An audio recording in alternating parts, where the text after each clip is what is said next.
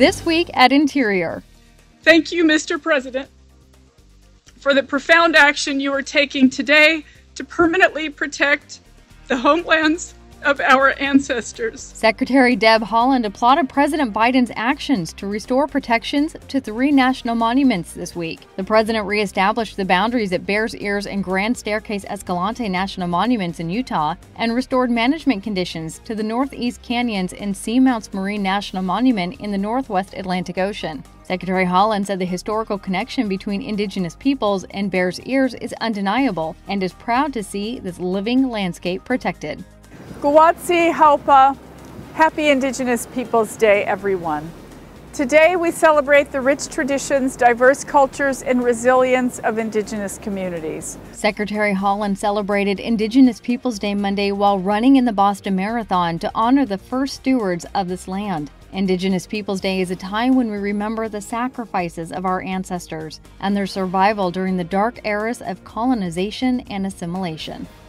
In remarks to the offshore wind industry this week, Secretary Haaland outlined the path forward for future offshore wind leasing to meet the Biden Harris administration's goal to deploy 30 gigawatts of offshore wind energy by 2030. The secretary announced plans for the Bureau of Ocean Energy Management to potentially hold up to seven new offshore lease sales by 2025. BOEM Director Amanda Lefton joined her at the event to outline the Bureau's plans and stakeholder engagement strategies. It's National Wildlife Refuge Week and a chance to celebrate the great network of lands and waters that conserves and protects Americans' wildlife heritage. The National Wildlife Refuge System provides vital habitat for thousands of native species, including sandhill cranes, American alligators, bison, and sea turtles. Each year, tens of millions of Americans visit refuges to enjoy fishing, hunting, hiking, and wildlife watching.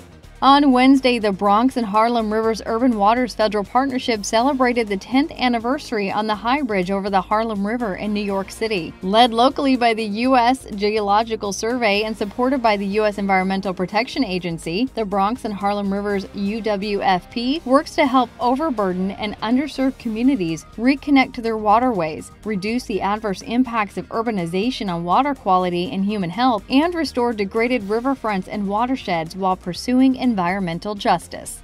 The Office of Insular Affairs announced its allocation of $55 million from the Coronavirus Aid, Relief, and Economic Security Act to the insular areas. The funds were distributed to address the impacts from COVID 19, including to purchase medical equipment, cleaning supplies and food, and distribution of testing kits, protective gear, and vaccines.